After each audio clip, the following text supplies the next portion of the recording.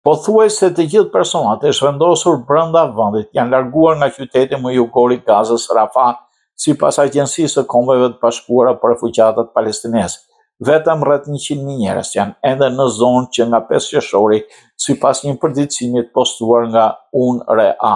Të paktën 1.2 milionë palestinezë janë zhvendosur përpara sulmit të Izraelit mbi qytetin më gjashtë maj pasi kishin ikur nga luftimet diku tjetër në Gaza. Një total prej një pikë shtatë milionë njerëzish janë zhvendosur në të gjithë Rripin e Gazës, ndërsa Izraeli vazhdon inkursionin e tij në Rafah.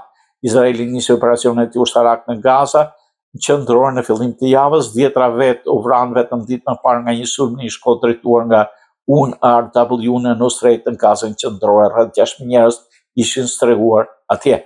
Forcat e Mbrojtjes së Izraelit, IDF, thanë se kishin shpëtuar katër pengje izraelite në një operacion kompleks të veçantë gjatë ditës në Nuseirat, një kamp refugjatësh në rripin qendror të Gazës, pengjet janë Noa Argamani, 25 vjeçe, Almog Menjan, 21 Andrei Kozlov, njëzet e shtatë dhe Shlomi Zhiv, dyzet vjeç. Ato u rrëmbyen nga organizata terroriste islamike palestineze Hamas nga festivali i muzikës Nova në jug të Izraelit më shtatë tetor, së bashku me forcat ajrore izraelite në njësinë e policisë kundër terrorizmit në Yaman, kryen operacionin në mëngjes, tha IDF. Të katër janë në gjendje të mirë shëndetësore dhe janë dërguar në qendrën mjekësore Sheba Tel HaShomer për vlerësime të mëtejshme mjekësore.